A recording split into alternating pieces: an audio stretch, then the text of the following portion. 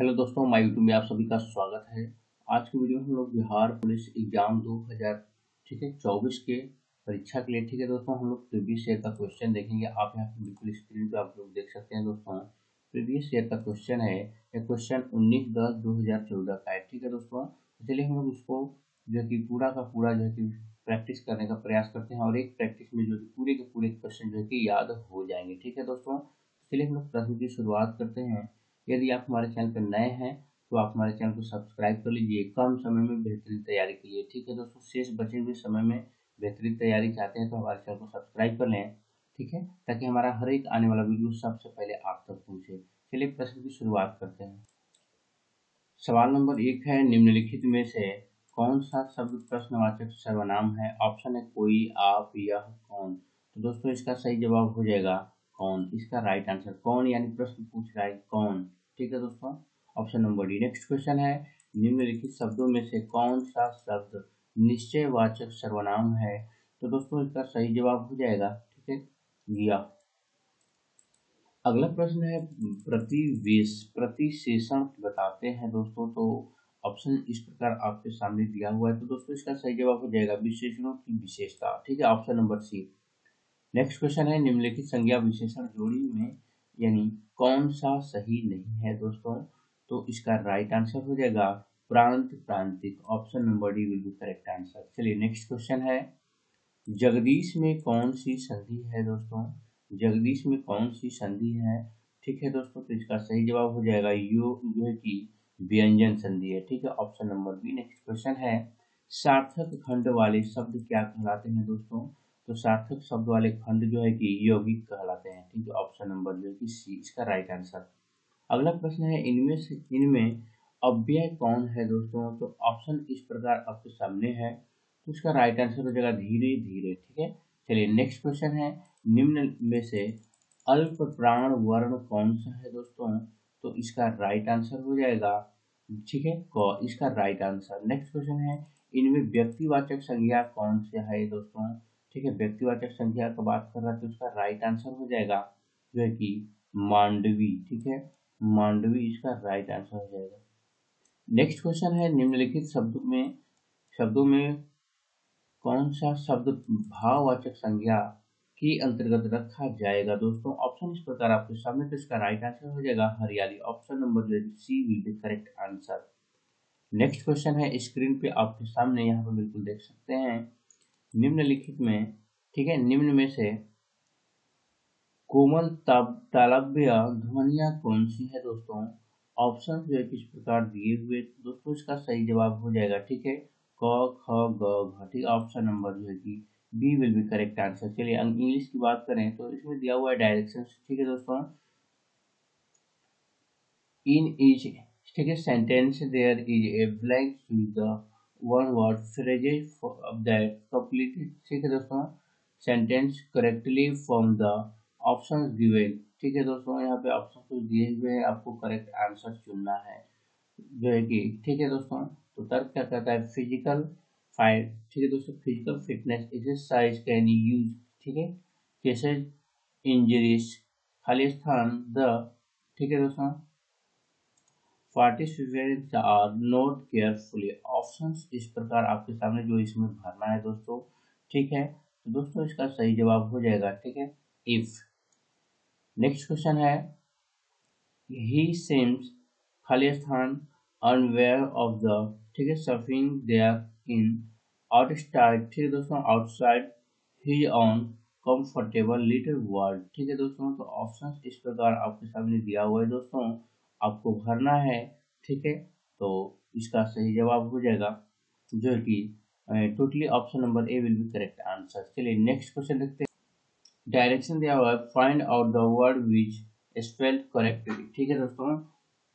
इसमें से आपको करेक्ट आंसर चुनना है। ऑप्शन इस प्रकार आपके सामने दिया हुआ है। ठीक है दोस्तों? तो इसका सही जवाब हो जाएगा, ठीक है? ऑप्शन नंबर ए यानी हार्मलेस ठीक है option number A will be correct answer harmless का अर्थ होता है से पूर्ण ठीक है दोस्तों? जो कि करेक्ट स्पेल्ड वर्ड है। नेक्स्ट है ठीक है दोस्तों? इमेंस इमेंस इमेंस इमेंस ठीक है दोस्तों ऑप्शन इस प्रकार आपके सामने दिया हुआ है। बस स्पेलिंग को जो है कि थोड़ा चेंज किया हुआ है, ठीक है? तो दोस्तों, इसकी बात करें तो इमेंस ठीक है दोस्तों? ऑप्शन नंबर जो कि A will be correct answer हो जाएगा। ठीक है दोस्तों? क्योंकि इमेंस का अर्थ होता है बहुत बड़ा ठीक है दोस्तों? इसमें अगर बात करें दोस्तों थोड़ा सा मिस अंडरस्टैंडिंग हुआ है जो है कि हमारा राइट आंसर हो जाएगा ऑप्शन नंबर जो कि सी हो जाएगा ठीक है? ए वाला हम हमलेस होगा ठीक है? ऑप्शन नंबर सी पे ट्रिक मार दीजिएगा। चलिए नेक्स्ट क्वेश्चन देखते हैं। तिरपन व्यक्तियों में ठीक है दोस्तों? ये मैथ का सवाल है आपको कैलकुलेशन कर दीजिएगा ठीक है? चलिए नेक्स्ट क्वेश्चन है। संदेश सभ्यता के निवासियों द्वारा निम्न में से किस धातु का प्रयोग सर्वाधिक किया गया? तो दोस्तों ऑप्शन जो है किस प्रकार आपके सामने दिया हुआ है दोस्तों तो इसका सही जवाब हो जाएगा से। Option number A will be correct answer next question है, प्राचीन नगर तक्षशिला निम्नलिखित में से किन के बीच स्थित था दोस्तों?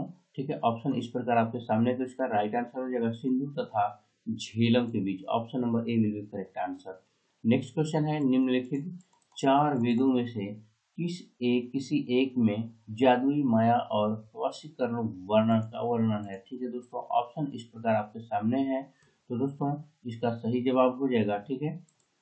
Option number C will be correct answer यानी आठवें नेक्स्ट क्वेश्चन है यूनानी स्त्रोतों में ग्राम जो कि अग्रमीज एवं चेंट्रमीज मगध के किस शासक शासक को कहा जाता है दोस्तों, ठीक है? तो दोस्तों इसका सही जवाब हो जाएगा, ठीक है घनानंद ठीक है घनानंद जी को बोला जाता है। घनानंद इसका राइट आंसर अगला सवाल है, रुहेलखंड रुहेलखंड किस मुगल शासक की मृत्यु के पश्चात स्वतंत्र राज्य बना दोस्तों, बना था?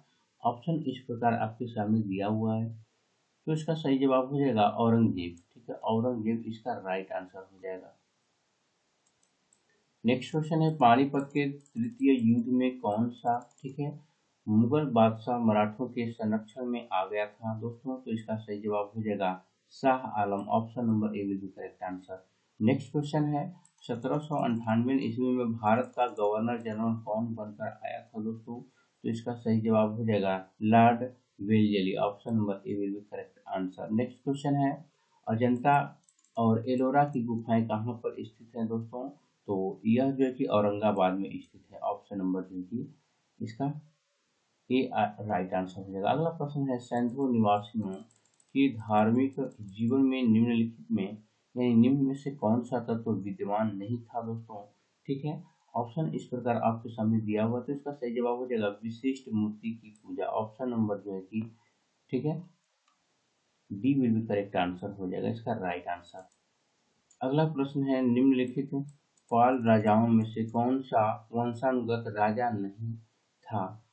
पर ठीक है दोस्तों, बल्कि उसे चुना गया था। ऑप्शन जो है कि इस प्रकार आपके सामने दिया हुआ तो इसका सही जवाब हो जाएगा गोपाल।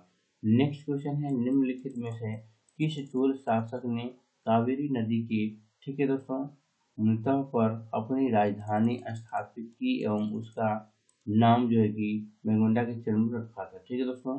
ऑप्शन इस प्रकार आपके सामने दोस्तों दिया हुआ है, जो कि इसका नाम जो है कि गैंग कोंड जो है कि चोलपुरम रखा था दोस्तों, ठीक है? यहाँ पे बिल्कुल देख सकते हैं, थोड़ा सा ड्रामा नाम है तो दोस्तों इसका सही जवाब हो जाएगा, ठीक है? ऑप्शन नंबर जो कि बी, यानी राजेंद्र वन राजेंद्र प्रथम जिसको बोला जाता है, ठीक है? नेक्स्ट क्वेश्चन है, विश्वविद्यालय में सरकारी क्रम को किसने बढ़ावा दिया था दोस्तों? तो इसका सही जवाब हो जाएगा, ठीक है? ऑप्शन नंबर जो सी लास्ट जो कि लॉर्ड कर्जन ने option number C will correct answer next question है, निम्नलिखित को भारत में आर्य करने की तालीम जो कि कालक्रम के अनुसार क्रमबद्ध, ठीक है, कीजिए। तो दोस्तों, इसका सही जवाब हो जाएगा, ठीक है? ऑप्शन इस प्रकार है तो आपके सामने। तो इसका सही जवाब हो जाएगा ऑप्शन नंबर सी यानी one four three two one हो जाएगा। फोर हो जाएगा, थ्री हो जाएगा, टू हो जाएगा। नेक्स्ट क्वेश्चन है 1916 का लखनऊ समझौता किसके बीच हुआ था दोस्तों?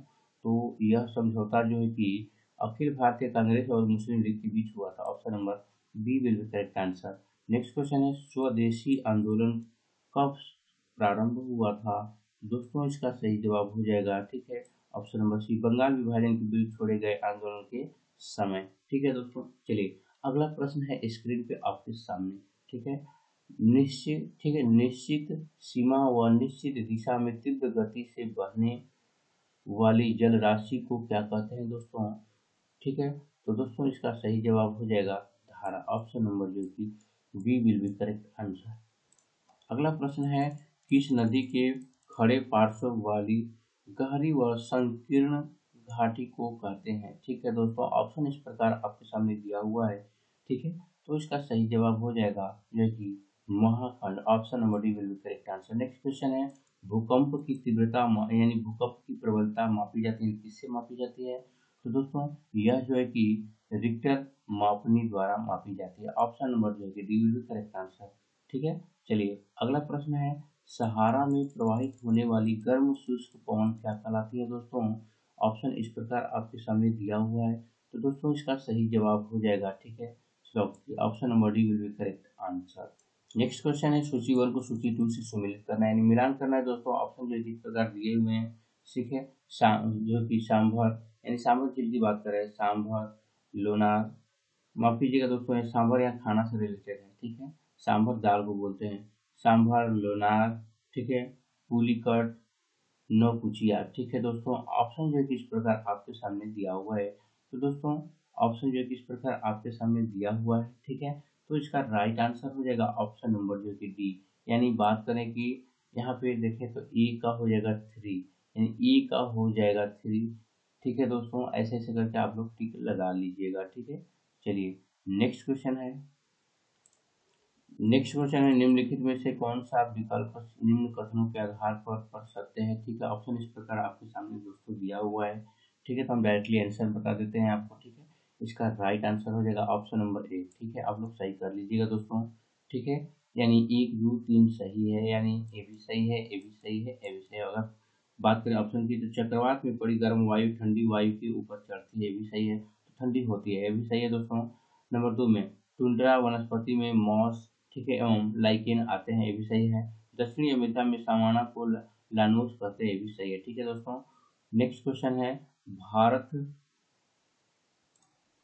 भारत में सबसे अधिक क्षमता का परमाणु ऊर्जा संयंत्र है दोस्तों तो इसका सही जवाब हो जाएगा, ठीक है, जो है कि इसका राइट आंसर हो जाएगा, जो है कि कुंडन कुलम। ठीक है दोस्तों option number B next question है, सूची वन को सूची टू से सुमिलित करना है दोस्तों ऑप्शन इस प्रकार आपके सामने दिया हुआ है। आप यहाँ बिल्कुल देख सकते चिनूक ठीक है दोस्तों, हरमंटन, ठीक है दोस्तों मिस्टर वोरा ऑप्शन इस प्रकार आपके सामने दिया इसमें मिलित करना है, ठीक है, आपको मिलाना है दोस्तों, ठीक है। तो इसका राइट आंसर हो जाएगा ऑप्शन नंबर ए ठीक है। यानी जो कि ए का फोर यानी ए का हम मिलाना चाहें तो ए के फोर के साथ मिलाएँगे। फिर बी का थ्री जो बी है, उसका हम थ्री थ्री के साथ मिलाएँगे इस प्रकार, ठीक है, दोस्तों, उसके बाद सी का टू यहाँ पे टू है तो इसको हम सी से मिला देंगे और जो बचा हुआ है उसको हम इस प्रकार मिला देंगे। ठीक है दोस्तों?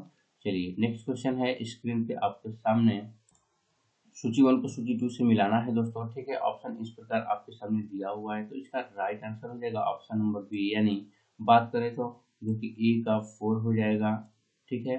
बी का थ्री हो जाएगा सी का टू हो जाएगा और डी का जो कि वन हो जाएगा। चलिए मिला देते हैं।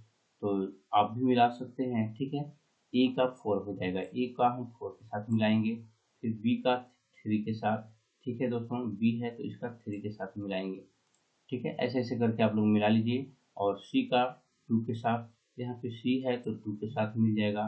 तो आप लोग यहाँ पर बिल्कुल देख सकते हैं, ठीक है?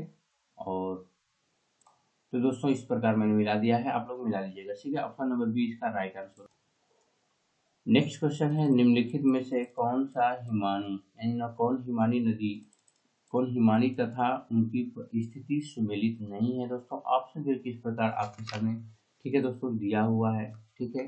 तो आपको सही करना है। तो दोस्तों, इसका राइट आंसर हो जाएगा ऑप्शन नंबर जो है कि इसमें देखें तो B will be correct answer हो जाएगा ये, जो है कि सुमेलित नहीं है, ठीक है? Option number B will be correct answer next question है भूगर्भिक समय मापक्रम का सबसे प्राचीन खंड है दोस्तों। ऑप्शन इस प्रकार आपके सामने दिया हुआ है, ठीक है? तो दोस्तों, इसका सही जवाब हो जाएगा, जो कि अघल्प शैल समूह। Option number B will be correct answer next question है, भारत में किस नदी का बेसिंग क्षेत्र अधिक है दोस्तों? ठीक है ऑप्शन इस प्रकार आपके सामने तो इसका राइट आंसर हो जाएगा गंगा। नेक्स्ट क्वेश्चन है स्क्रीन पे आपके सामने। यहाँ पे दोस्तों सुमिलित करना है, ठीक है? यहाँ पे जो है कि सूची वन को सूची टू से मिलाना है, ठीक है? ऑप्शन जो है कि इस प्रकार आपके सामने है दोस्तों तो इसका सही जवाब हो जाएगा, ठीक है? ऑप्शन नंबर सी यानी option number C will be correct answer यानी जो कि ए का वन के साथ, ठीक है? बी का टू के साथ, और सी का जो है कि थ्री के साथ, और डी का जो है कि फोर के साथ मिलान होगा। आप लोग मिला लीजिएगा, ठीक है? चलिए अगला प्रश्न है स्क्रीन पे आपके हिमालय भारत के लिए महत्वपूर्ण है। इसके तह इसके महत्व हैं। इसके क्या महत्व है दोस्तों?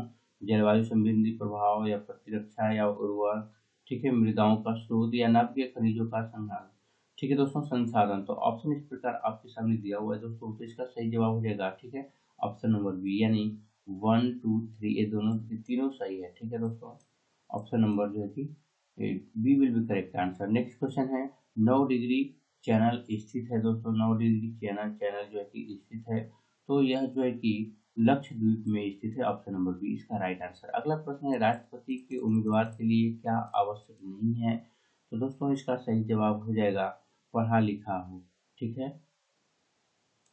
तो दोस्तों, इसका राइट आंसर हो जाएगा जो है कि बी क्योंकि जो कि राष्ट्रपति के उम्मीदवार के लिए पढ़ा लिखा होना आवश्यक नहीं है, परंतु राष्ट्रपति के लिए दिवालियापन, पागलपन, देशद्रोही और जो है कि नहीं होना चाहिए। ऑप्शन नंबर बी इसका राइट आंसर नेक्स्ट क्वेश्चन है, भारत के राष्ट्रपति को पद की शपथ कौन दिलाता है दोस्तों? ऑप्शन जो इस प्रकार आपके सामने दिया हुआ है।